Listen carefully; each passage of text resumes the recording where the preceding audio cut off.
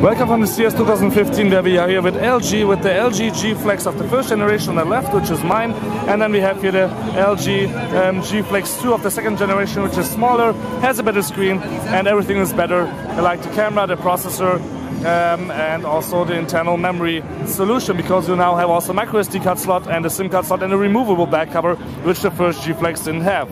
Now both have the uh, maximum display brightness here on right now and you can see for example here we are running Lollipop already which is looking quite good with the Snapdragon 810 and here it's still the Snapdragon 800 with just the, um, the Android 4.4 but this one actually has also Lollipop um, but it didn't come out with that.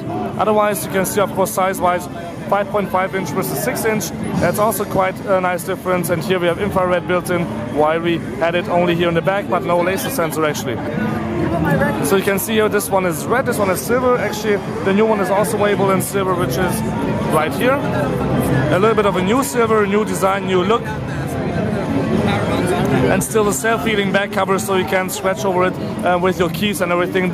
With a little pressure and it will uh, have a self-healing healing cover uh, but you should not do that on purpose or with a lot of power because otherwise the scratches will actually stay inside. And both are still flexible so you can see the first generation is really flexible. That's why it's called the LG G Flex while the new one is also still flexible so you can actually make this uh, straight which is um, quite nice.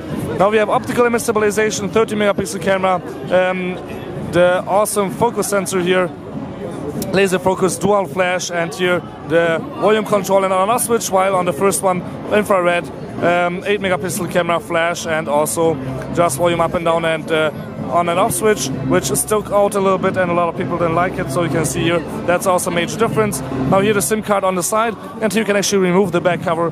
Can't change the 3000 milliamp battery but you can actually change the sim card and the micro SD which is quite nice otherwise new LG logo also Maybe some of you will notice the difference. A little bit of a new font, but that's not that important. Let's try a little bit here the camera.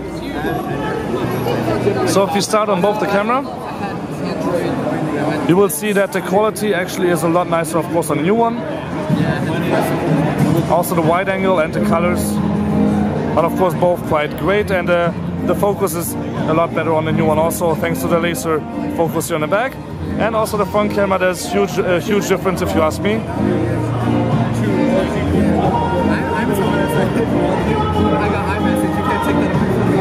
So you can see here on the left, it's a lot sharper with the uh, front 2.1 megapixel camera and the wide angle is also a little bit better. And there's also, of course, new software features also built in, which is, of course, again, quite good. So, of course, definitely you should buy the new G Flex 2, which is available starting January, price probably around 800 bucks with the Snapdragon 810 and just awesome hardware. And you can see there's some other phones waiting here for the comparison, so check out my other videos on the G Flex 2 also. Here from Las Vegas at the CES 2015. So much for tuning in, don't forget to subscribe. My name is Balazs and this was the LG G Flex 1 and 2 in a short comparison.